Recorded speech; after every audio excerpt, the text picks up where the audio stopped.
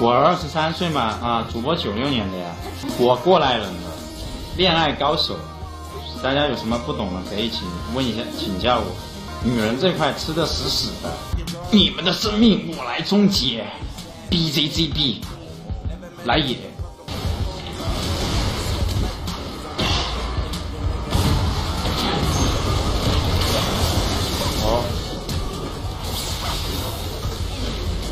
就是吗？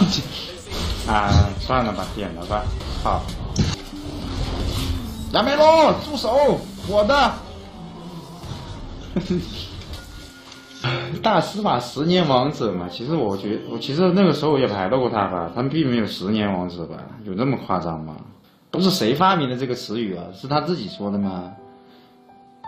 那就有点东西了，根本没有十年王者，英雄联盟出了 US 九，谁他妈有十年王者？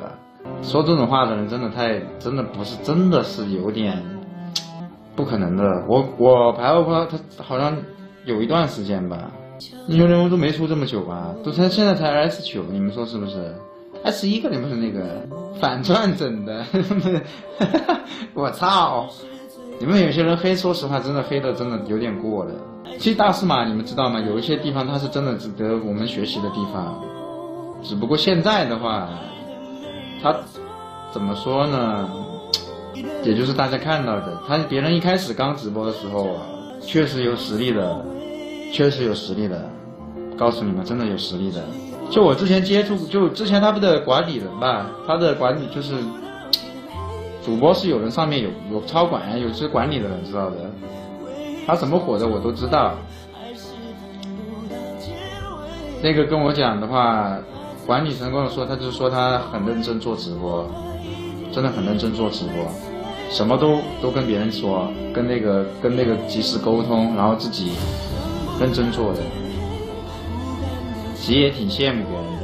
别人之前刚开始，说实话，直播火的时候确实好看的，怎么又开始装好人了？